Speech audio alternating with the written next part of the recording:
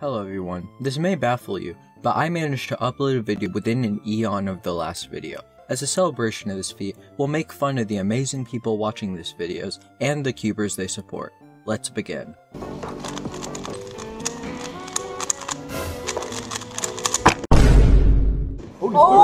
Starting with Felix Zemdegs, I actually wasn't aware people still thought Felix could break the world record until people were making world prediction. Now if your favorite cuber is Felix, sure, that's great, enjoy it. But if you thought he was gonna win worlds, you're likely in a permanent state of denial and for the love of God move on.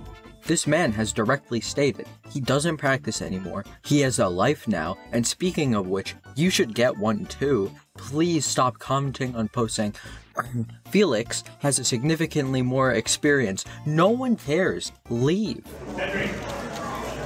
Yes! Alright, next is Max Park, and there's two distinctive kinds of Max Park fans. The first kind likes him because he's 20 minutes ahead of everyone in Big Cubes, and that's cool, do that.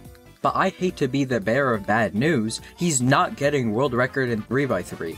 Alright, before I have the entire country of America attack me, let me explain. Max Park, having gone to nearly 200 competitions, competed in like 5 world championships, and being the second best 3x3 solver ever, only wins worlds by a hundredth of a second.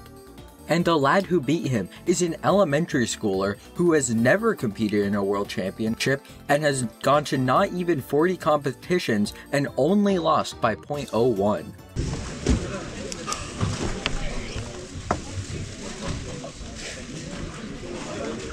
Alright, lastly is Tymon Kolasiński. And before I get a thousand dislikes and cancelled for not bullying a 10 year old child, I need to explain something real quick. You may have noticed there isn't any clips of a certain 10 year old solving in this video. Why is that? Well, in the last video, comments were being disabled because there was a child in the video, that child being Yiheng Wang, so for the time being, no more Yiheng. Anyways, I'm about to get a thousand dislikes for another reason, but if your favorite cuber is Tymon, you're a loser. Zero world records, zero chance at breaking a world record, losing to a kid in pull-ups, and all around just a loser.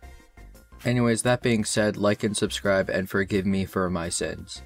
Also, this video is sponsored by Speedcube Shop. You should go to speedcubeshop.com and use code CREAMY for a fat discount. If you want to be ever so kind, I'm in need of video ideas, so leave one in the comment below and I'll feature your comment if I use yours.